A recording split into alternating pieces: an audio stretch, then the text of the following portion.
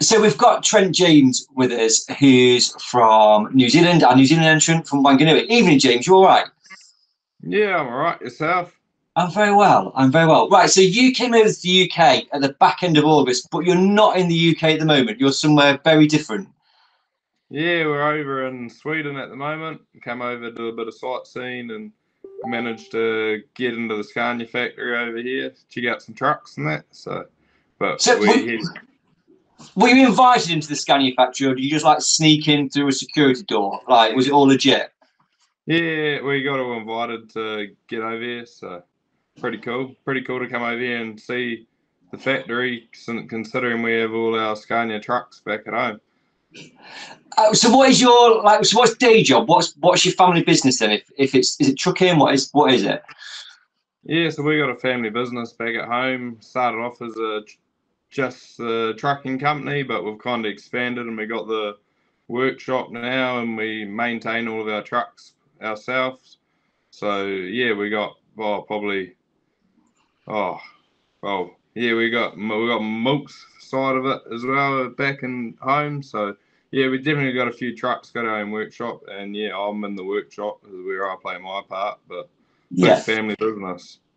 good. Right. So like I said, you came to UK back end of August. We'll talk about racing at Bradford in a minute. So what else have you kind of done when you've been over in the UK? What what have you done with your time? So yeah, we landed here and then drove straight to Bradford, done the racing. Then after that, we kind of cruised around the UK, went to Manchester, Birmingham, um, spent some time in London. So pretty much we went everywhere, done all the sightseeing type of things, and Yeah. ended up jumping on the underwater train or whatever it is, and Uh, went over to Paris. Done a couple of days in Paris, then yeah, hopped on another plane and came over here. So it's it's a very busy. B, I love it that you call it the underwater train. That they should have named it that in the first place. I think that's fantastic. It's genius. It's genius. They should have done that. Um, Yeah, Right.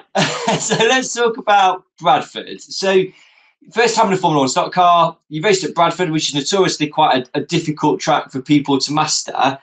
And you did really well. 11th in the final Saturday night, 8th in the Grand National, 9th in the final Sunday, 2nd in the Grand National on Sunday. And then um, I don't know if you've seen this like a, a forum on the internet Stoxnet, and you were like nominated as the driver of the day on the Sunday, where fans kind of go, "This is who I thought drove the best." So clearly, you impressed people on certainly on the Sunday. How did you find Bradford? Yeah, it was good when I first got there and went down with the Gilbanks, had a look around the track and all that. We, the way that the corners square off to the straights, uh, I was could already tell that you'd end up being sucked into the fence fairly easy. So Yeah, yeah, just had a bit of a look at it. Then yeah, fir- first night took me a couple of laps to get get myself off the tyres, and I ended up collecting a few of them over the weekend. Bloody Yes. found out you can't ride the fence here like you can back in New Zealand, but well, once yeah, once I managed to get myself comfortable in it and turn in some good laps, it was actually a really fun track. yeah. yeah, really enjoyed it by the end of it. So I, I did notice on Saturday you kind of you check the fence out and you, you check the middle out and you you know what I mean. You were ex, you, you were exploring like Bradford, which I thought was good. Yeah, yeah, yeah. No, just getting a bit of me everywhere. So is the racing? You know, we we asked this question a lot from when you guys kind of come over, but I think it's relevant. Is, is the racing much different, or once you kind of in it, it, is actually this is this is stock cars and I know what I'm doing? Yeah, um, yeah, it's very, it's more similar than I thought.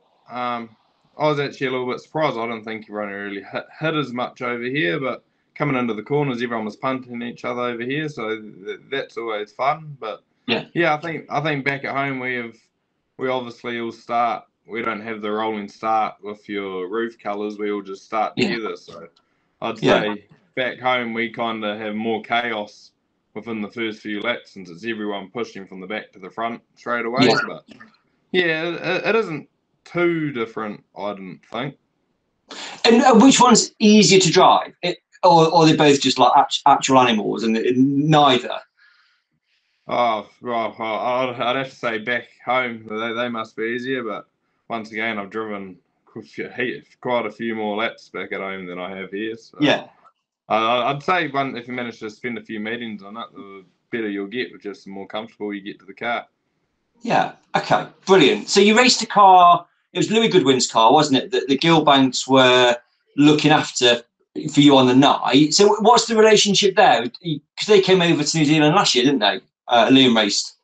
Yeah, he came over for two forty eights um, yeah. in New Zealand. I think he done a meeting in Auckland as well, but he sorted all that out through Asher Rees back at home. Um, he came over here last year.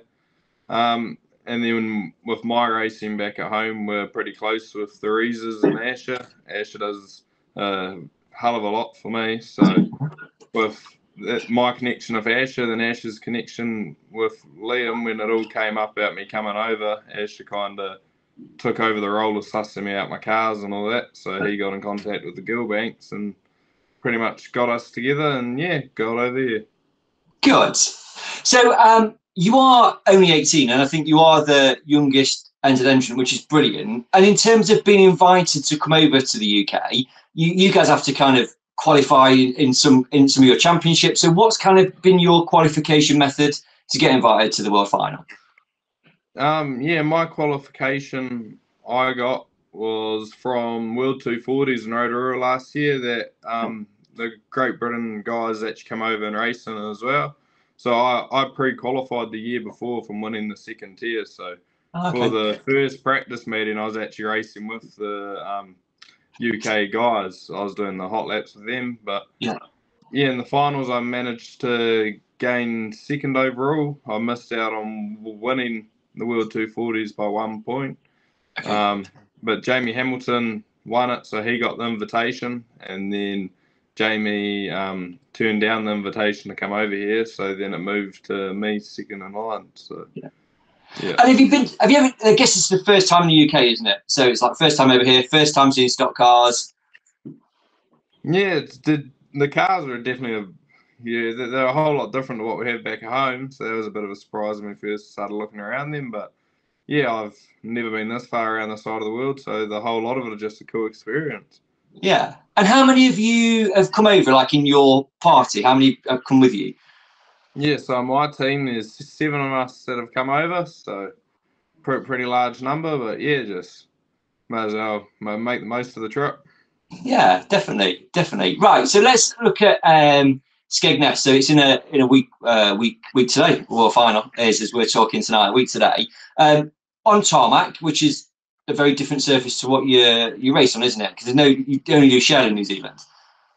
Yeah, or we just yeah we just do do it back at home. There's no such thing as stock cars on tarmac, so I've never yeah I've never raced anything on tarmac, so should be interesting. It will be. What what car are you using on Saturday? I'm I'm actually not too sure on the actual guy's car. Um, but yeah, once again, the Gilbanks have sorted it out. Um, I know that they've rebuilt it and built a new engine to go in it. Um, Liam sent me photos the other day of that they put the engine in and it's running now. And then, yeah, when I stopped in there last week, it didn't have the engine in it. But yeah, that's running now. So yeah, they've sorted all that out for us. So you're just like, yeah, I've definitely got a card. I don't care where it's come from. I don't know who it is, but yeah, I've got a car to race it or final. Happy days. Yeah, it, it, everyone's told me that the car's a good car, so yeah, just put all my faith into them. yeah, well, I'm sure they'll tell you the truth. Um, in terms of practice, then what's that going to look like prior to Saturday? Are you going to get any practicing? Because obviously, we've got Friday night, Friday practice, haven't we? Is that kind of what you're aiming today? Yeah, we were trying to get me a practice during the week at one stage, I believe. But um, yeah. yeah, as far as I know now, I'll just be doing the practice on the Friday. So hopefully get to turn as many laps as I can and try come to grips with it. But yeah, yeah just do the Friday, then try hit the Saturday as good as we can. Oh, I think the time trial's on the Friday as well now. Yeah. So, oh, yeah. Yeah. hopefully, I'll be somewhere decent by then. So realistically, you know, it's an alien uh, surface for you. Uh, you know, you kind of never done stock cars on tarmac. Um, what what are you aiming for from the World Final itself? Oh, um, the the whole goal for me since the start was just to obviously get over here and actually finish the race, hopefully. So, Yeah, I mean, you've done that at Bradford. That's good. Yeah, yeah, well, yeah, Bra- Bradford was just a meeting that didn't mean anything. Like the World Final was a big one, so that was just a bit of fun, and I think everyone was surprised by how, how quick I picked that up. So we're all, uh, well, yeah, we're already over the moon of how well I went over there on Shales. So Yeah. worst, worst comes to worst, I'll just be able to use that, that and try and push away the poor performance. Yeah, absolutely. I did well when I came to the UK. Look, look I did this. Um, so when so you've got a Friday practice and we've got a Saturday, Sunday racing. So you get two kind of good days out of the weekend at Skegness. Yeah, yeah, um, yeah. Back home, we really, yeah, we just have the two nights for our big championships. So Yeah. yeah, it should, should be a cool experience to see how it all works over here. And have you seen the track? 'Cause it's, Skegness is quite small, but it's certainly by our standards, it's one of the smallest sort of tracks race on. Have you seen kind of any videos of it? Um, I saw the um interview, well, world final kind of thing video that you made there. Um, Yeah. I watched that, and I've seen a couple of photos and videos of races on there, but yeah, I haven't seen it in person or anything. So No. Hmm. It's going to be good. It's going to be good. Um, Yeah. and it will be absolutely. And in terms of when you when do you go back home then? So sort of the Sunday's the fifteenth, and then when do you guys kind of fly back to New Zealand? So we actually fly back to New Zealand on the 16th. So Yeah. we're racing on the Sunday. Then on the Monday, we drive back to Heathrow and then fly out. And then we'll get back to New Zealand on the 18th. Yeah, it, right, that messes with my mind. When I went to Australia, right, I it, I struggled with the concept of like how have I? I think I gained a day, and then I came back. And it's like I am traveling in time. Do you know genuinely? Because it is. It, it messes with your mind. Yeah, m- messed with our minds coming over here as well, buddy. We stopped on, so our first flight was New Zealand to Singapore. Then we Yes. actually spent the night in Singapore and then changing from New Zealand to Singapore, then Singapore to over here. It just got even more confusing, I believe. Yeah, absolutely. You just don't know where you are. You just don't know where Yeah. it's, it's bizarre. It's a bizarre experience. Um, Mm. Obviously, you know, you know, like UK stock car racing, and you're kind of familiar with some of the big names. Who do you see as sort of the favourite on on Saturday for the world for getting the gold roof again? Oh, yeah, I, I don't really know every, that many people over here. I pretty much know of the people that come over for teams each year and Yeah. Team GB, and I oh, I know a couple other ones over here that you see around, but but uh, the, the way the way Facebook and everything's been leading on, you've been seeing. I I, I believe Tom will probably be the man to beat again.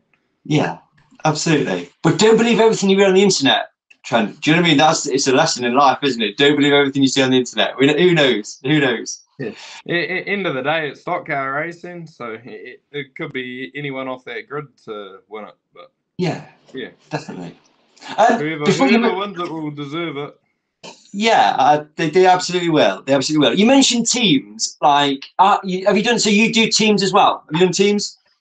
Um, I didn't do Palmy teams last year since yeah, I'm still fairly young, so we've been kind of trying to breed myself into it. So when I get into it, I'm at the right stage. But I done Auckland teams this year for um, yeah, teams Nats in Auckland. I raced for the Manawatu Mustangs since the Yeah. Warriors Wanganui's team had a full squad. So I jumped over to Palmy for the teams and got a bit of a taste of it. So I'd say next year there should be hopefully be able to try and make Palmy. So the so the Palmerston one then is that like next level? Like this is as good as it gets from teams perspective. As a New Zealand driver, that's kind of what you aspire to do when you're doing teams racing. Yeah, Palmy teams is the major teams meeting of the season for super stocks and everything. That that meeting probably gets the biggest hype out of everything. Um, Yeah. yeah, you go there every year and the stands are full no matter what, and yeah, everyone loves it.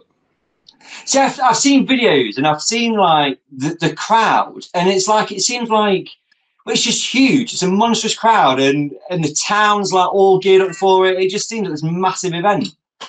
Yeah, it's, it's just an amazing weekend and everything to even just go be a spectator because, yeah, town's full on the Friday or Saturday night, the first night. There's always cars all through the um, town and all that parked up that you can go check out and they all go to the square in the middle of the town, go to Scrutineering and then, yeah, head off to the track. So, yeah, it's just such a big build up and everyone gets into it. Bloody, every time someone does a big hit or whatever, everyone's bloody all about it. So Yeah. Yeah, Yeah. cool. So we make a big deal of, of Team GB kind of coming over to race in New Zealand and saying that how difficult it is because it's very, it's, it's completely different to what we do in, in our racing. You know, we race for ourselves, don't we, on track, and then you go to teams and you've got to race as a team, and then um, in New Zealand as well. So from your perspective, do you think they do well to kind of because they do, do- you know, most years they're kind of up there, aren't they? Fourth, third, seconds. Yeah, I, I I reckon it's actually a little bit bad. Bloody Team GB come over and kind of show us up a little bit. Bloody yeah, they, yeah, they they definitely come over, and I think they surprise a few people by how far along they get. Like yeah, bloody fourth the first year they came back, then third again this year. Yeah. Bloody lo- looks good for them. It does. And you know, like obviously you've got I understand that different you've got different teams and you've got fans of each team, but is there many New Zealand people that su- almost support Team GB, kind of recognising the effort that they've put in and, and want them to do well? Yeah, I know that when they came back, um, there, were a few people that were all excited about it, but yeah, just bloody, yeah, everyone kind of gets behind what whatever teams kind of doing good, I suppose. Yeah, absolutely. yeah, absolutely. It's been an absolute pleasure to talk to you this evening. Um, before we go, clearly coming over to the UK, racing in the World Final, you, you don't do that on your own. You must have a bit of support behind you to get you halfway across the world. Yeah, exactly. The support that has been shown towards me has been unreal. Um, we had a auction fundraiser night back home before the weekend before I left, and managed to raise a fair bit of funds to get me over here. So yeah, been been awesome the support that we've gotten from everyone. And any sponsors as well? Oh yeah. Um, my sponsors: Sharp as Lionel, um, Supercar Lunch Drives, uh, Speedway Garage Wanganui, um, Advanced Panel and Paint Pumps North, Critty, Critty Flex, MacTech Services, Display Associates Wanganui, Midtown Motors Wanganui, Rees Race Cars, Hullenback Haulage, B&T, Wholesale Tyres, DC Services, New Image here, Freightliner Hardcore, Still Shop Wanganui, and Taupo Diesel Solutions. You've got some good sponsors. And I, I think Wanganui sounds like an amazing place to be. I just love the name. It's brilliant. It's a great name. Great name for a place to live. Yeah, great little town and great little club that we have in Wanganui. Everyone supports everyone. So, Yeah. yeah. Listen, you get back to Sweden, whatever you're doing in Sweden, massages or saunas, steam rooms, um, and then get yourself mentally prepared uh, for the world final at Skegness. And I'll see you there in a week's time. Thanks so much for your time, Trent. Yeah, sweet. Thank you.